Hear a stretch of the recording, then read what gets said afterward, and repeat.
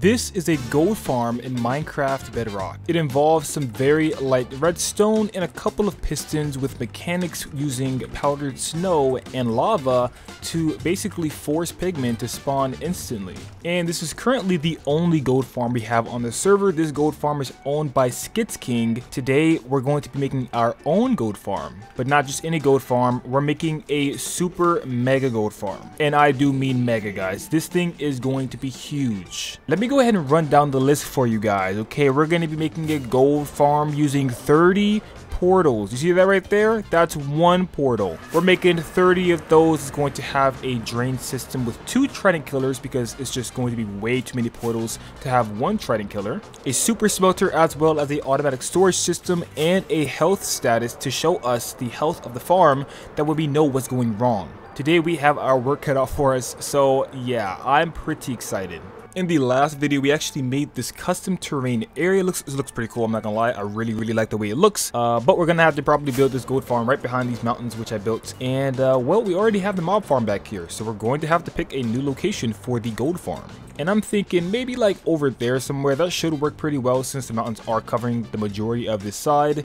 So yeah, I think we have our location picked out. I might change it up, but for now, that doesn't seem too bad. This farm is going to have 30 portals, so we're going to need approximately 2,880 pieces of obsidian, which equals out to about 45 stacks of obsidian. That's going to be just about two shulker boxes. And we're going to need even more glass than that. So this is going to be a pretty hefty project. So I know my videos are usually pretty laid back and I kind of get stuff done, but because this is such a big project, we're kind of we're gonna be kind of moving fast because uh, this video is going to be long anyways. I'm pretty sure if I'm moving fast, this video is probably still going to reach around the 15 to 20 minute area. So I'm to go ahead and just get things started. First things first, we have a beacon, guys. We have a beacon, which is going to be very, very useful for getting the obsidian out of the end because we have to collect a lot of it. So I'm going to go ahead and bring this beacon into the end and start collecting a bunch of obsidian. And after about, I want to say two hours, we finally got enough obsidian to build the portals. We have about two shulker boxes, like I said, which is going to be enough for all 30 portals. And just like that, we are right back in the overworld. Now we can start gathering sand for all the glass we're going to be needing. So I got to go find a mining desert to get a bunch of sand. Now I just flew over my mountain into the iron farm and I got a gift from Little Gamer or Light Light Light Little Gamer, what do we have here? Aqua Affinity. I actually really needed this because I want to be doing a lot of stuff that involves water, so I'm actually very, very glad I got this now. Oh, only costs three? Wow. Nice. Now all I need is respiration, and I have a fully maxed helmet. Thank you very much, Little Gamer. Look what I found. I don't have a treasure map at all. I just found a chest in here Got some cake, got a heart of the sea, I'll take that. Potion of water breathing, that can come in handy in the future. We got some TNT as well. Um, we got weight. Not too shabby. I'm gonna take most of this stuff. You know, we'll go ahead and have some cake for the road. It's gonna have a bit of sand in it, but that's okay. Yeah, I'm, I'm, I'm gonna eat some of that while I'm, uh, oh, can I make this float? oh my god, I just broke my cake. Alright guys, this should be enough sand. We have, uh, well, we have this chest full of sand, and then we also have these two shulker boxes with sand. And we gotta smelt it all down, so I'm gonna have to AFK for a bit. Alright guys, so I AFK'd overnight at the mob farm slash iron farm slash mini smelter now, and we got all the glass smelted down. So you're good to go. It's not in there actually, it's in here. Bam, we have another one there and another one here full of white stained glass. I like to use a stained glass just to make it a little bit easier to see. And uh, by the way, we were AFKing here basically overnight and this thing is full of iron. We're going to have to make the storage system pretty soon, but it shouldn't be an issue because we have iron to make hoppers and that is usually the most expensive part. But yeah, all of these hoppers except these ones, or like this one, is basically completely full. So yeah, this iron farm is working very, very, very well. And keep in mind that we did just make a beacon with all of these. Yeah, this iron. Yeah, we have a lot of iron. Oh, wrong pickaxe. There we go. Alright, but with that being said, we can go ahead and start on the building phase of the portals. So I'm going to hook up my third person camera and start building those and I'll see you guys on the flip side.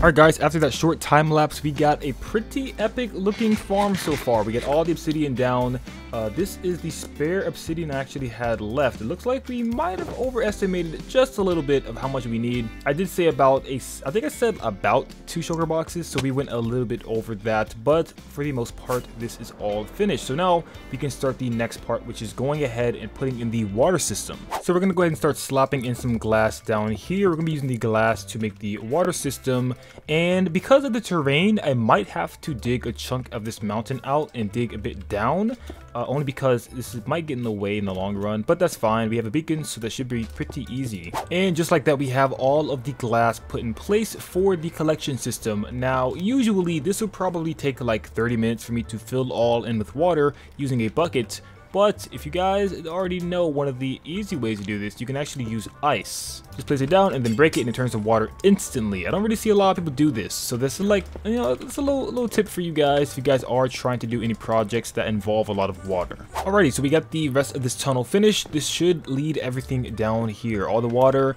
up here is all finished. So all we have to do now is just break this ice here and that should lead it right down to the middle, which is going to be the two double trident killer areas. Gonna kill, uh, hopefully kill them twice as fast as usual because this farm actually has way too many pigmen to only have one trident killer, so we have to have two.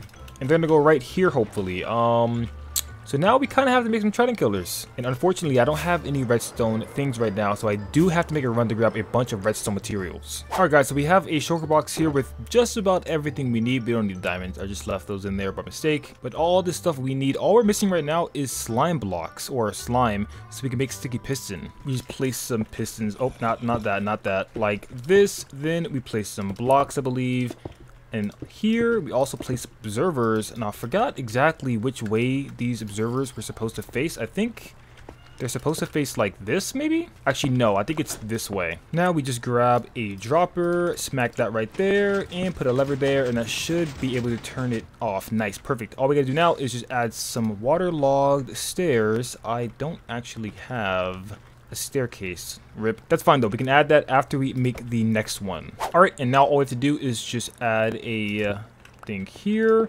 waterlog that, and that should, yep, push them all right here to this corner. And that is going to allow the items to get funneled right through there. And all we have to do now is just add a trapdoor there so the water doesn't flow through and we should be good. We have the uh, water stream for all of the three or four technically streams of items going through.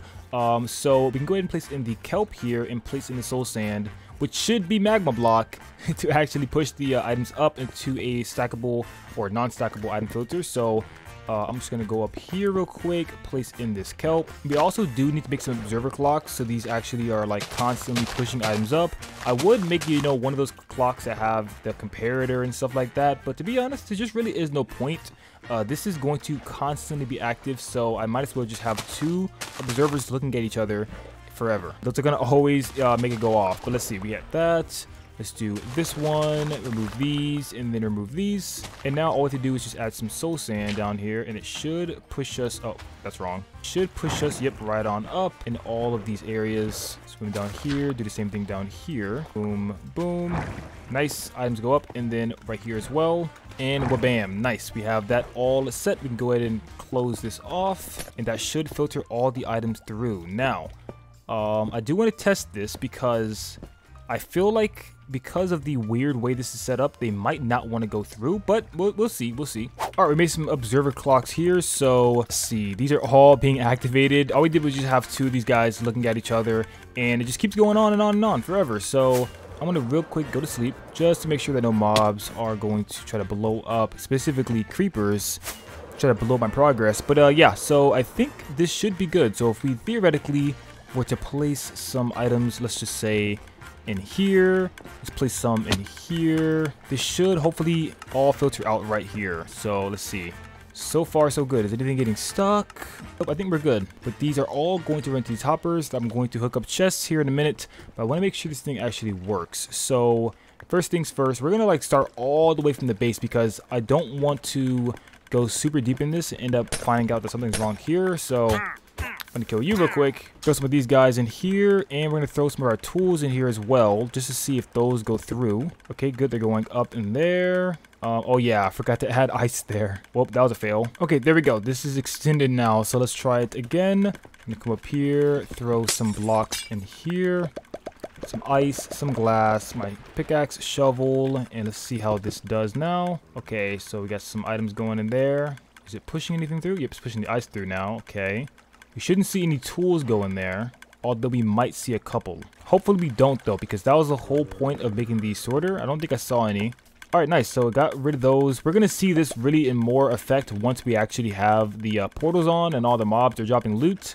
But uh, it looks like these all should have went, yep, in here, in this hopper. Very, very nice. Where's that ice? Oh, it's right there. Perfect. Ice is in there. Okay, come on. Come on, man. Why? Why? Okay, so we got all of the modules here installed. We have the actual things that make them turn on fire and actually light up installed. We also have a lever that we can flick that will activate all of these. So you guys see those pistons there. If I flip this lever, all those pistons extend and that goes for all 30 portals. So now all we have to do is just hook up the Trident Killer and then install the lava and the powdered snow and this thing is basically done. I'm currently in my creative testing world where I already built this farm and as you guys can see, if I hit these guys, bam, one time, they die instantly. This is Impaling 5. I don't think they die instantly with Impaling 4, so we need Impaling 5 to have that maximum death speed, which is going to really speed up the farm, because too many pigmen, like too many pigmen are in here. So like if we throw this in here, just clear it out real quick because there are so many guys in here. There we go. Just just clear that out. And then throw this. Okay, jeez, Mobees. These guys are just everywhere in here. Yeah, it's just not a chance. Like, this clearly shows just how bad this really is. Alright guys, so the farm is completely finished. This thing works amazingly. We uh, AFK'd overnight and we got a lot of gold. Went ahead and crafted it down to gold blocks. Oh wow, wait, hold on. Oh, even more gold nuggets in there. But yeah, we have a lot of gold blocks already. We have some more ingots in here. This thing is working really well. What I went ahead and did is I got rid of all this and just made a regular sorter system and I gotta say it works like way better. There are absolutely no problems. A sword or rotten flesh has never gotten to any of these chests. They always get burned every time. And I can easily make a uh, rotten flesh thingamabob and then let all the swords go into a furnace or super smelter. So I could definitely do that. I'm not going to do that in today's video though because we already ran this one up. It actually might be around the 30 minute mark for this video. So I cut it down quite a bit. I'm probably going to cut it down because I don't want to make a super long video. But yeah, we already are going in pretty big with this one.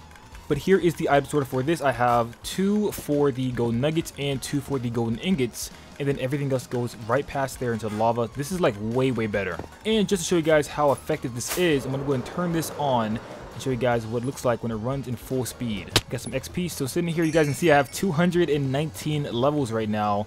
Yeah, this thing is just absurd. Now, there is one small little issue, which is whenever I have these Trident killers on, they don't like to stay on. You guys might see that I swapped out uh, the repeaters for pistons and so far that is working a little bit better, but eventually this left one likes to just turn off by itself, which is kind of bad. So we're going to figure that out. I'm probably going to have to space them up like out because in my creative testing world, I didn't actually have them right next to each other like that. So there is a good chance I'm going to have to like space them.